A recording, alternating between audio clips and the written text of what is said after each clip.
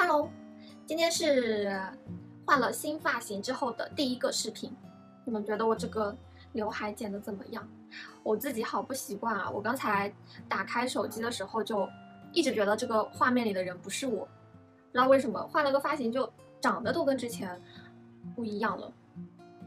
今天呢是要来跟大家分享我的近视眼镜，呃，我的眼睛一个是三百五十度，一个是四百度，呃，然后可能是因为眼睛比较敏感，就我每次戴隐形的时候就会很痒很难受，所以我一般平时还有像拍视频的时候都是不戴隐形眼镜的。这一副呢是我之前一直在戴的眼镜，然后也是你们一直问我的，呃，是在实体店里买的。其实它这副眼镜不是特别的适合我，因为它的宽度是比我的脸。要窄一点的，呃，一般来说，我们挑选眼镜的时候，要挑眼镜的宽度跟脸平行，或者说比脸稍微大一厘米，就是大一点点这样子的，大太多的也不行。呃，选择这样子的眼镜呢，就会显得我们的脸。较小一点，跟选择鸭舌帽的帽檐是同一个道理。你们看我新配的这一副，它的这个宽度和我的脸基本上就是平行的，然后镜框呢会比原来这个要大很多很多，所以这一副戴上去之后真的超级显脸小。然后这个眼镜呢，我跟你们说它是特别特别适合圆脸来戴的。我们都知道圆脸要选方的眼镜，但是又不能太方，就是像这样的。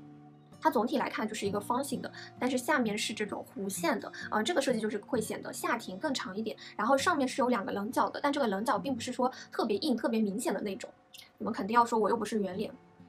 给你们示范一下，这样子脸挺圆的吧？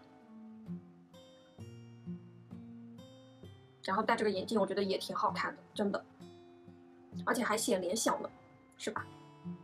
这一副是透明框的，呃，我这次一共是配了三副近视眼镜，除了刚才那副是打算日常戴的，还有两副都是会比较稍微特别一点，就是会更加适合凹造型啊，或者说是搭配一些衣服。像这个它就是那种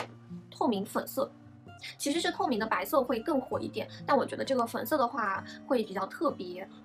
它的这个粉色是那种淡淡淡淡的那种肉粉色的感觉，然后镜腿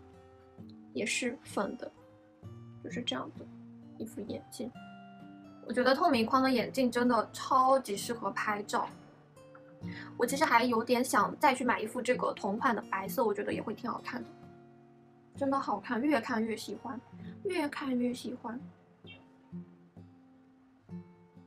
第三副是一个黑框眼镜，呃，但它其实并不是纯黑的那种，它是有一点点透明的深灰色。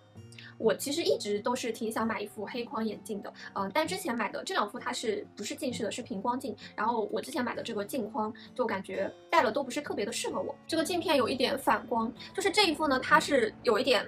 太大、太黑、太圆了，戴上去之后就我也不用说了，反正你们看人就是有点。傻傻的那种感觉，这副黑框其实我觉得它还可以，嗯，但就是因为我一直觉得我的眼睛还挺小的，然后像这种黑框眼镜，它的存在感就特别的强，因为它这个线条是很浓的嘛，这一张脸，然后就有两个大大的框，然后就两颗小小的眼睛，就是这个眼睛就显得更小了，所以我这副我也不是特别喜欢，因为我还是挺想要一副黑框眼镜的，所以这回就又尝试了一下，呃，然后这一副的话它。就没有这个圆的那么圆，然后线条那么的粗，然后也会比这个方的要更小一点，整个镜框会更扁一点。再加上它是半透明的深灰色，就不是这种纯黑的，就在脸上的话就没有说有那么浓的两个框的那种线条的感觉，所以我觉得这副还是挺适合我的。这副黑框的话，我觉得是会更适合普通人、大多数人戴的。然后它的宽度也是跟我的脸是平行的，应该比我的脸要大一点点，会显脸小，戴上去。然后也和粉色那个一样，真的很适合凹造型，就拍照很好看。新的这三副是同一家店的啊，然后大家比较关心的这个近视镜片的问题呢，反正我也是都是在同一家店里面搞完了，比较方便一点。如果要在网上配镜片呢，就可以先查一下眼睛的度数，然后再根据这个信息去挑选镜片。挑镜片除了度数之外，还有一个就是折射率。呃，一般来说折射率越高，它的镜片就越薄，然后价格也是越贵的。呃，但这个折射率呢，也是跟度数有关系的。就放在这边给大家参考一下，然后来说两个妆容上的事情。呃，虽然我是化妆小小小小小白，嗯，但是因为好多人私信问我，然后我就是有一点点心得，就是可以分享一下给大家。呃，第一个就是眼镜妆，其实我觉得你戴眼镜不戴眼镜，你化妆其实还是一样的，就是假睫毛不要贴太长，不然会刮到那个眼镜片。呃，然后就是这个位置。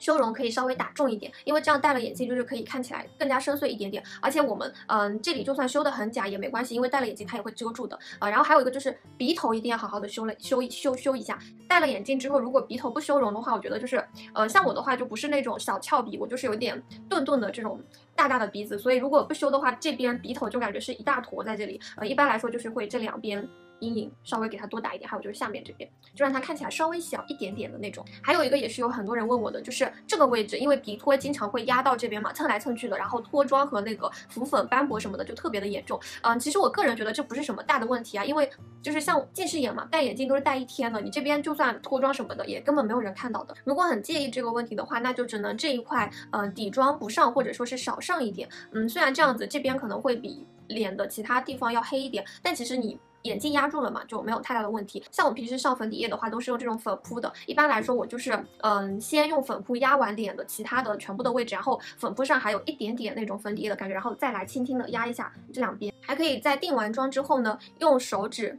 再摁一下这两个位置。